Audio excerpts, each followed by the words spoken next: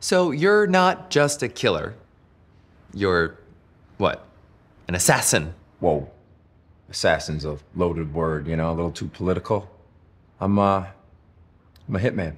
A hitman. Cool. Chill. And uh, how do people procure these services? The dark web. The dark web. Web. Oh, we are so lucky to have found you. Well, everybody's got someone they want to kill. The thing is, no one realizes how easy it is to do. I can't believe this. This is like a website, but for horrible things. Oh, they accept Bitcoin. Mm, mm, mm, mm. I want him to think that he's about to get laid, and then right before, bam, dead. Yeah. Bam, like a gun. No guns. They're traceable. The bullets, too. Well, then what are we gonna do? Kill him by hand? There's lots of options. You know, doing it here would be ideal. Stage it like a home invasion. I'd have to tie you both up after. He just came home at the wrong time.